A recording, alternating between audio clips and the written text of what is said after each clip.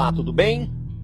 Eu entrevisto Virgínia Fontes. Ela tem doutorado em Filosofia Política pela Universidade Paris 10, em Nanterre. Ela é professora de pós-graduação em História da Universidade Federal Fluminense e da Escola Politécnica da Fiocruz. Entre outros trabalhos recentes, ela tem Reflexões Impertinentes e Brasil e o Capital o Imperialismo. Ela participa da série de conferências sobre 1917, o ano que abalou o mundo, a respeito do centenário da Revolução Russa, e ela fez algumas reflexões que eu gostaria de compartilhar agora com os nossos espectadores. Virgínia, ela prefere que não seja tratada de professora. Virgínia, você disse no debate que na Revolução de 17 houve uma produção intelectual que promoveu a revolução. Por que que no Brasil não houve essa produção intelectual revolucionária, ou pelo menos reformista? Bom, essa é uma questão espinhosa.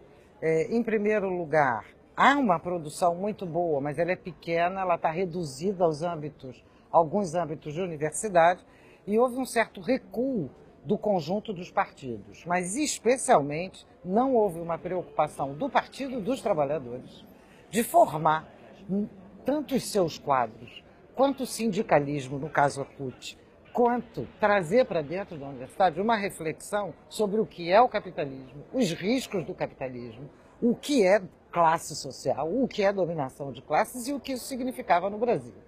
E isso é uma perda muito importante, porque a pauta que dominou, digamos, a, a experiência política é, do período mais recente no Brasil foi a pauta da pobreza.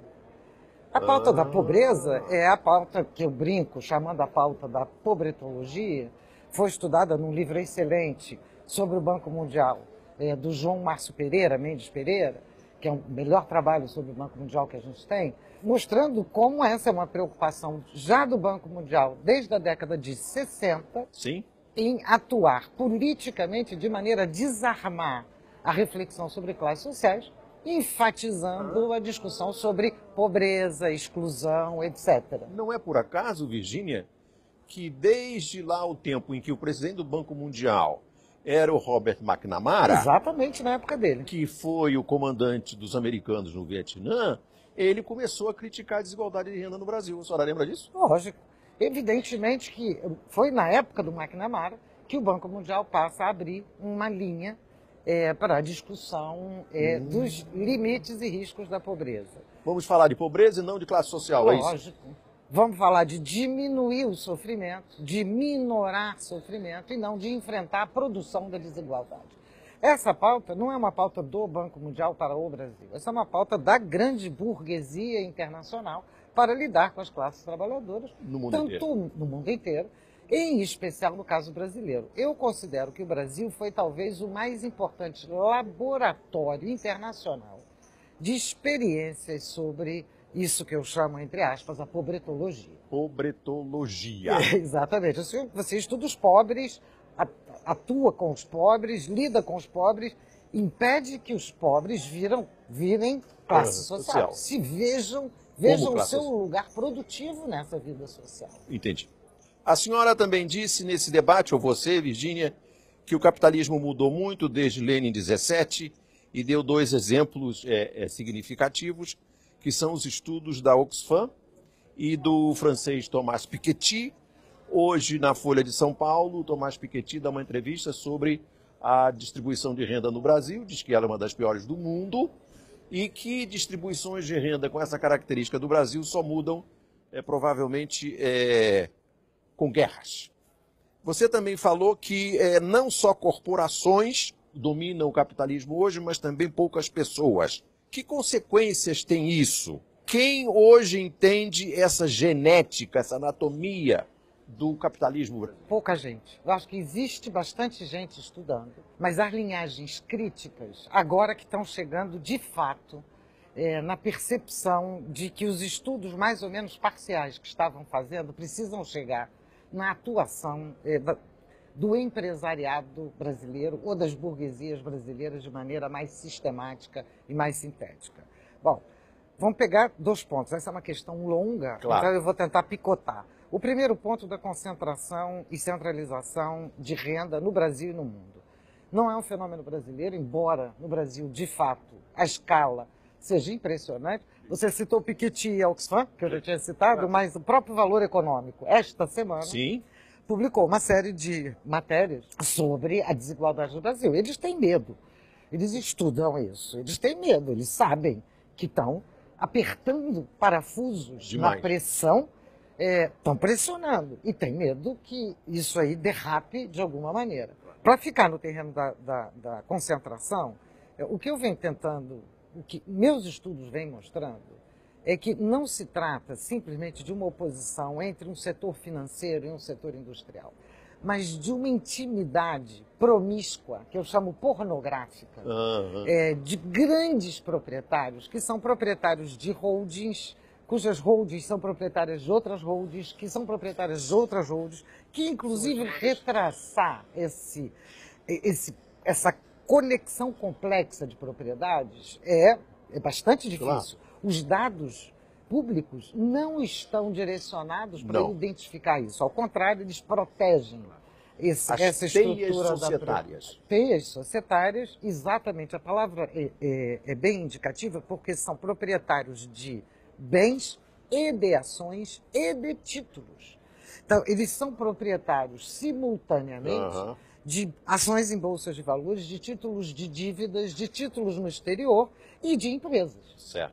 Essa concentração, eu tendo a chamar isso, usando Marx, que eu acho que a minha referência é ainda a referência fundamental para entender o capitalismo, como o que conta hoje no capitalismo contemporâneo é a propriedade dos recursos sociais de produção. Não é que a propriedade dos meios de produção não seja importante, mas hoje em dia é mais importante ter recursos suficientes para colocar em ação meios de produção. E proporcionalmente a essa massa de riqueza, os meios de produção, por mais caros que sejam, são relativamente baratos. No caso brasileiro, vou dar alguns exemplos rápidos. É, as empresas, quando quiseram desafiar os governos e os impostos governamentais e fizeram aquela concorrência alucinada de redução de impostos entre os estados, Claro. o que, é que elas faziam? Elas mudavam uma fábrica do dia para a noite. Sim. Mas elas não mudavam a fábrica, elas abandonavam uma e construíam outra no dia Sim. seguinte. As deslocalizações que foram feitas na Europa, mesma coisa, eles saíam da Inglaterra para a Hungria, ou da Inglaterra para a Polônia, ou para a Romênia, Como as um americanas o fazem outro. em direção à Ásia. A Ásia ou a China, etc. Claro. Aponta mais para as grandes corporações. Mas a gente pode pegar um exemplo mais cotidiano, mais novo, mais contemporâneo, que é o Uber. O Uber é o quê? Uma empresa mega concentrada na ponta, onde se unem bancos, empresas de alta tecnologia e alguns grupos. Eles não lançam apenas uma, uma plataforma digital. Isso é um conto da carochinha. Claro. Eles precisam dessa plataforma digital, mas essa plataforma digital ela é testada para atuar em grandíssima escala. Claro. Portanto, para atuar nessa escala, os recursos sociais que eles precisam, a massa de Uhum. capitais que eles precisam é enorme, inclusive para corromper Claro. prefeituras, estados, etc. Porque eles vão corromper de várias maneiras. Eles vão corromper a legislação municipal de transportes e eles vão corromper a legislação trabalhista em todos os países que eles atuam. Eles têm essa massa de recursos. Aparentemente, o trabalhador não tem patrão, não é verdade. Ele é controlado a cada segundo no seu deslocamento pelo mapa da Google. E é controlado pelo cartão de crédito, pelo contador do pagamento, a cada segundo. Então você tem máxima centralização do capital, máxima dispersão da execução do trabalho com o máximo acompanhamento quase policial sobre cada trabalhador. É muito impressionante. Nós estamos entrevistando a professora Virgínia Fontes e no próximo bloco nós vamos conversar também sobre eh, por que, que o capitalismo brasileiro eh, não é remendável. Até já.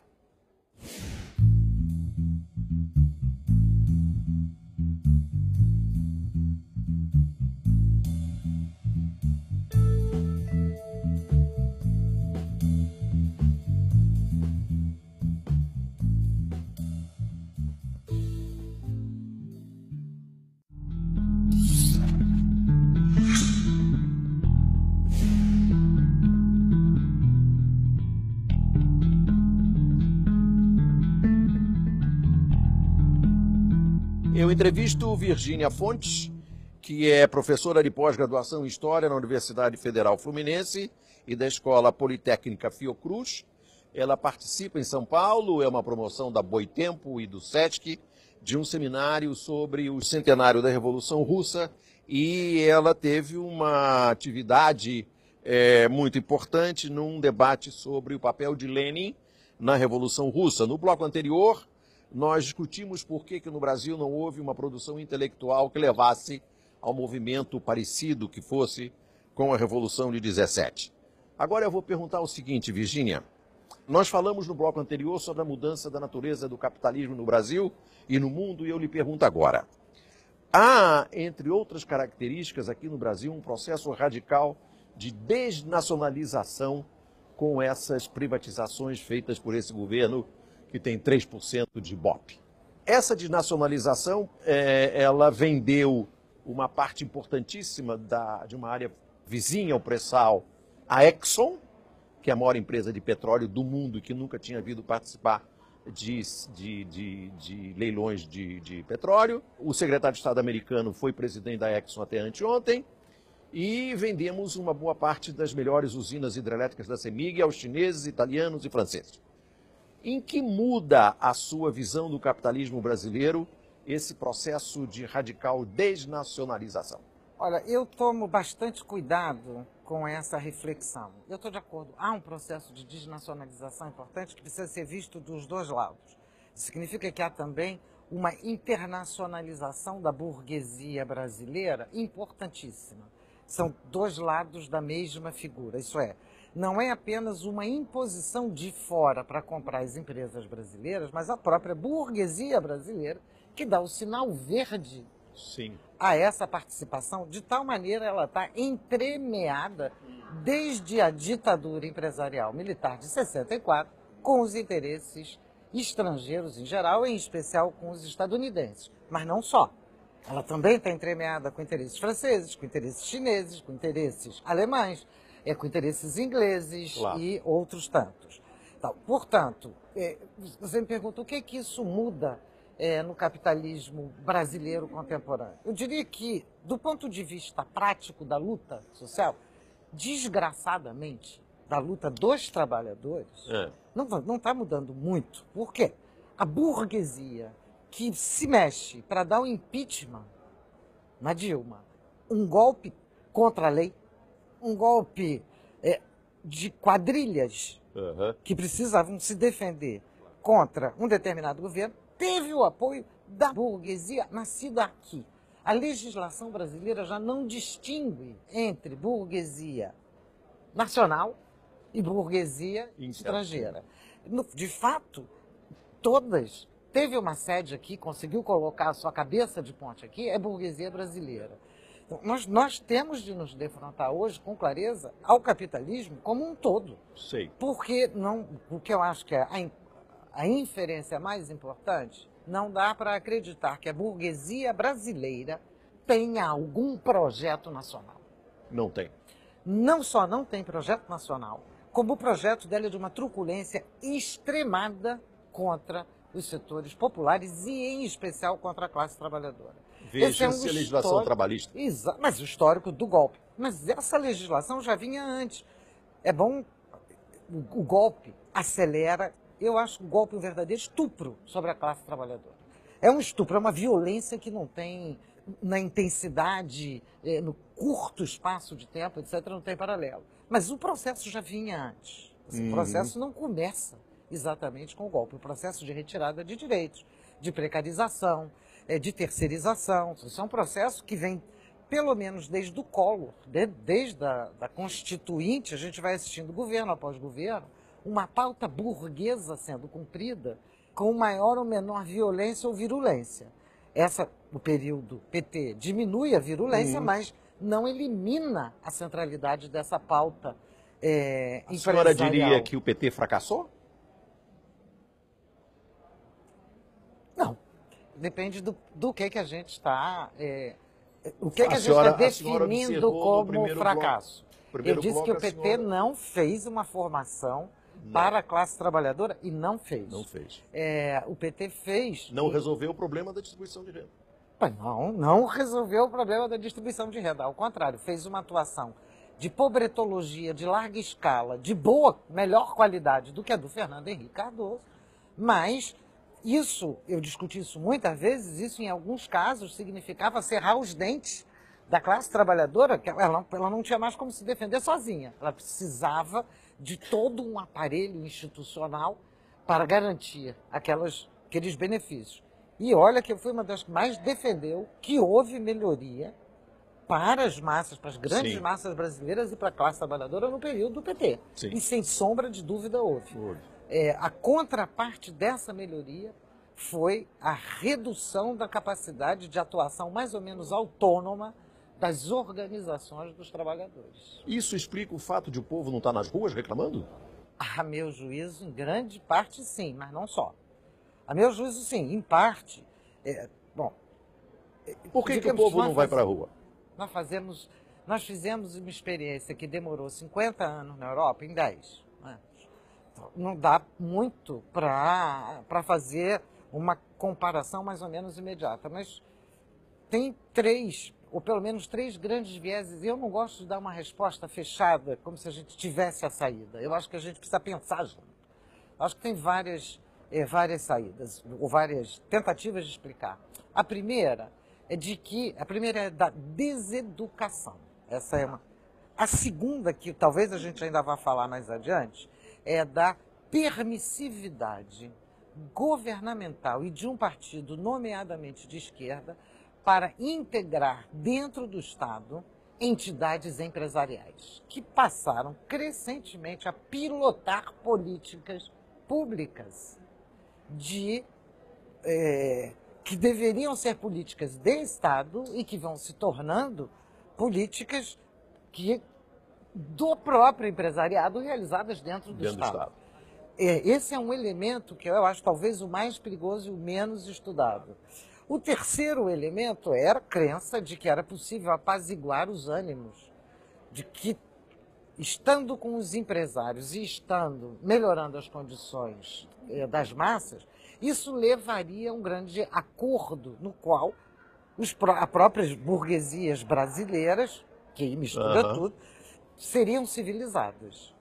Eu acho que é não olhar nem para o mundo, nem para eh, as condições da truculência histórica das burguesias brasileiras.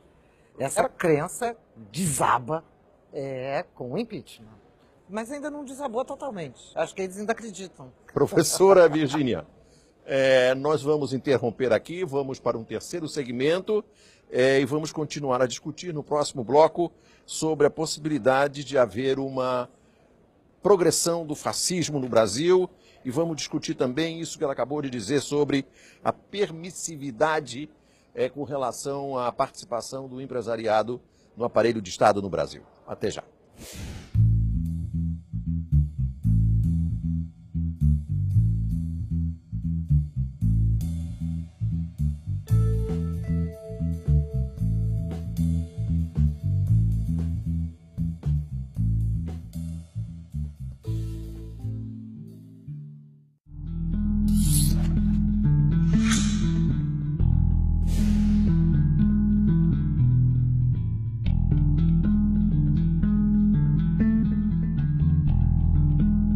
Eu entrevisto Virgínia Fontes, professora de pós-graduação em História da Universidade Federal Fluminense e da Escola Politécnica da Fiocruz. Ela é autora, entre outros livros recentes, de Reflexões Impertinentes e Brasil e o Capital e Imperialismo. Ela participa em São Paulo, numa promoção da Boitempo e do Sesc, de um seminário sobre os 100 anos da Revolução Russa. E eu vou perguntar a ela, eh, Virgínia, você falou no bloco anterior que um dos problemas por que o povo não vai para a rua é que houve uma permissividade para que os empresários ocupassem o aparelho de Estado no governo Lula. Por quê? Vamos lá, não é só no governo Lula. E Dilma? É, peraí, vamos, vamos devagar vamos aqui para poder ter bem claro. Digamos que a estrutura do Estado brasileiro atual foi desenhada na ditadura empresarial militar. Tá a partir da presença do IPES, Instituto de Pesquisas Econômicas e Sociais, onde estava Golbery, Golbery onde estava claro. o grupo todo que arquitetou o golpe e depois ocupa os espaços estratégicos no Estado pós-golpe. É, a- as lutas democratizantes, elas ah, se soldam por semi-vitórias, semi-derrotas. Nem os setores propriamente democráticos ganham na Constituinte, nem os setores duros ganham na Constituinte. Então, é uma situação meio peculiar, né? a gente sai da Constituinte e logo depois da Constituinte, e, e quase imediatamente depois vem, digamos, a grande crise do mundo soviético, 89, depois 92. Então, a gente tem de olhar isso numa certa perspectiva histórica para conseguir entender que em 90 o empresariado brasileiro se organiza aceleradamente para enfrentar a forma política democrática, porque ele só estava acostumado a lidar com a truculência. Então, Certo. significa que a violência estatal, paraestatal eh, e paramilitar, tradicional das nossas grandes cidades e do campo, não diminuiu, mas cresceu muito o número de entidades sem fins lucrativos, Sim. voltadas para atuar junto aos setores populares. Bom, eu posso dar um exemplo que não é o melhor, mas na pressa, a força sindical. A criação da força sindical Sei. aconteceu como? Dinheiro empresarial para ajudar um segmento Claro. conhecidamente bandido da classe trabalhadora para criar um sindicato. Havia trabalhadores com aquele perfil? Havia. Trabalhadores têm direito de ter posições diferentes. Claro. Mas não que o empresariado vá financiar a construção de um sindicato. Que, inclusive, tem aquele livro clássico do Vitor Gianotti sobre a farsa sindical, narrando esse processo. Bom, esse é um exemplo. Era, se tratava de enfiar cunhas ali onde havia iniciativa de organização popular. E essa, e- e- essa é uma característica que eu- do que eu chamo capital imperialismo do pós-segunda guerra mundial. São teias e malhas de entidades sustentadas por empresas atuando em inúmeras, de- inúmeras áreas, mas elas são, enquanto entidades, sem fins lucrativos. Elas são sustentadas por empresas, mas elas são sem fins lucrativos. Hoje elas já têm, algumas já têm fins lucrativos. Mas isso é uma outra Assim como a força discussão. sindical. É, mas isso é uma- outra discussão mais complexa. Desde a década de 90, elas se multiplicam a tal ponto que no final, na virada do século XX, elas tinham mais funcionários, juntando todos os que o IBGE classificou como faz-fio, fundações e associações sem fins lucrativos, elas tinham quase tantos funcionários quanto o funcionalismo público federal. Só que os trabalhadores delas não tinham contrato, uma boa parte não tinha contrato, não tinha direitos, etc. Elas são um dos elos de deseducação da classe trabalhadora. As PPPs, É. quando passa ainda lá no governo Fernando Henrique Cardoso, quando vem a reforma de Estado, etc., as PPPs visam prioritariamente o quê? Contrato com entidades sem fins lucrativos para substituir a política feita diretamente pelo Estado. Para que áreas isso vai atuar no começo? E hoje eu acho que a gente tem de estudar, porque a gente ainda sabe pouco. Saúde e educação Claro. os CIPs, e no caso da educação pública, é, a- a- é onde tem mais estudo, eles passam acordos, contratos, adotam escolas públicas com fundações, entidades sem fins lucrativos, etc., levando material, oferecendo programas Uhum. para algumas é, atividades, logo depois passando acordos com a Secretaria Municipal de Educação para o conjunto da rede pública, depois com o governo de Estado. E o movimento Todos pela Educação vai passar a ter uma atuação nacional. Esse é uma situação absolutamente escandalosa. E, e essa, desse ponto de vista, a Lava Jato corresponde ao nome. Isso é aquela máquina de lavar carro que só lava por fora, só tira a lama grossa e que não olha o que está acontecendo nem no Jato motor. só lava por fora. É, só faz aquela lavada para visita, para Claro. inglês ver. Porque o que está acontecendo lá Mas, por dentro. Virgínia, vamos tentar encerrar a nossa entrevista com ah, uma reflexão que você fez no debate sobre a Revolução de 17 e que foi a sua observação a respeito do crescimento no, no mundo de, de partidos de cunho fascista. Nós temos aqui no Brasil algumas possíveis manifestações disso. Existe a possibilidade de, em torno da eleição de 2018, que eu não sei se você acha que vai ocorrer ou não, é, se tem uma solução fascista? Bom, Paulo Henrique, eu sou historiadora, não futuróloga. Eu tomo o maior cuidado para evitar previsões porque não, não, então é... vamos esquecer não, eu vou, eu vou, eu vou seguir o desafio. Vamos, eu vou colocar. Vamos sobre fascismo. 18 vai haver eleições. Boa pergunta. O fascismo. Existem possibilidades de alguma coisa próxima ao fascismo no Brasil? Possibilidade existe.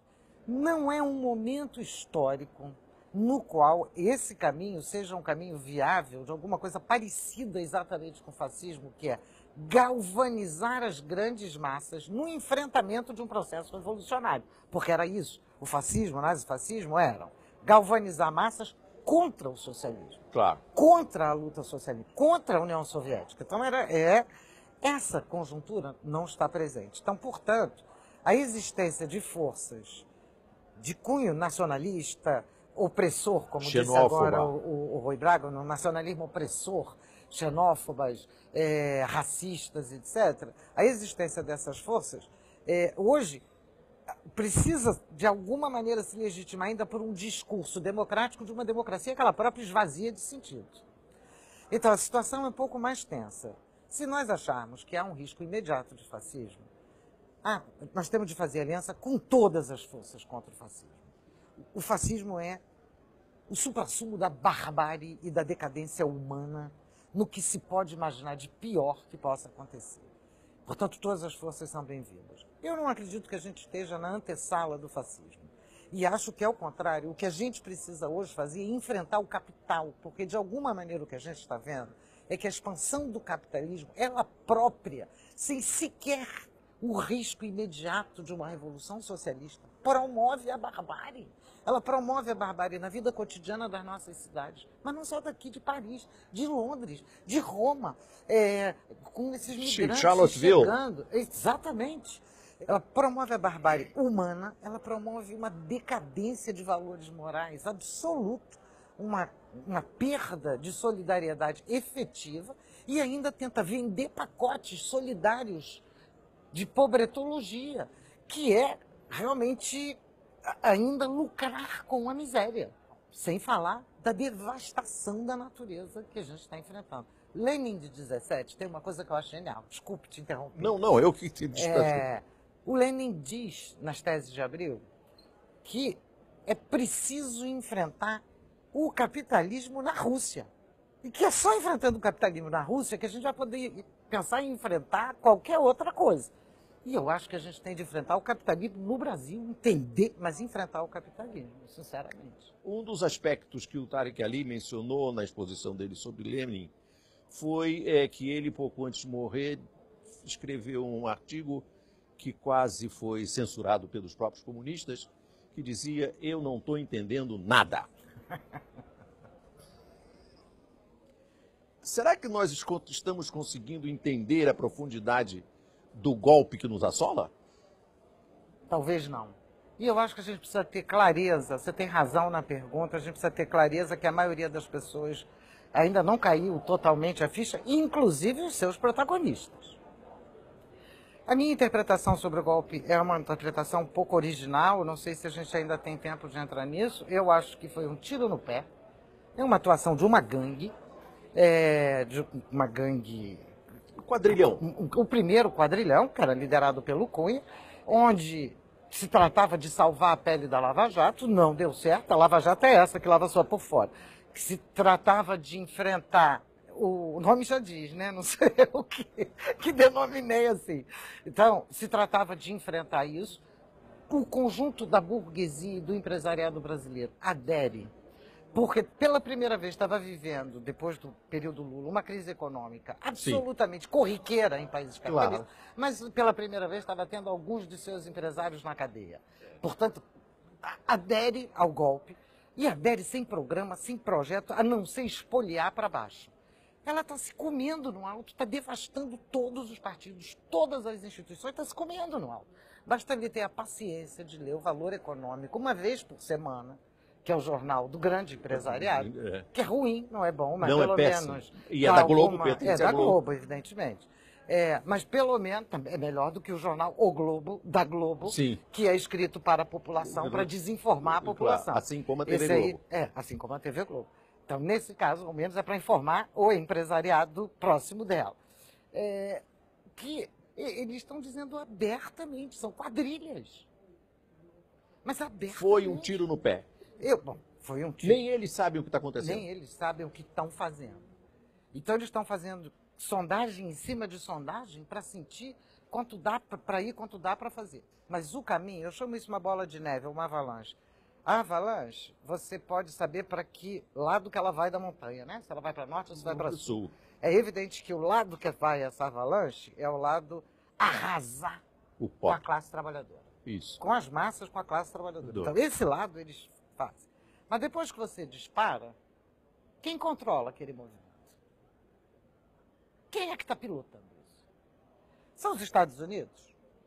Os Estados Unidos dão palpite em tudo, claro, evidentemente. Mas eles não pilotam isso aqui. É, são, É o Moro? É, é o Moro? Não. Também não. O Moro contra o Lava Jato, que, que lava por fora e deixa os 70, 80 mil que ele ganha Sim. como se fossem legais. Legais? Eu tenho a impressão de que as grandes massas precisam de um tempo para digerir isso. Mas não bastam um tempo para digerir, é preciso ter os elementos para pensar. Virgínia, muito obrigado. Obrigada a você, é uma satisfação. Toda minha. Uma honra. Obrigada.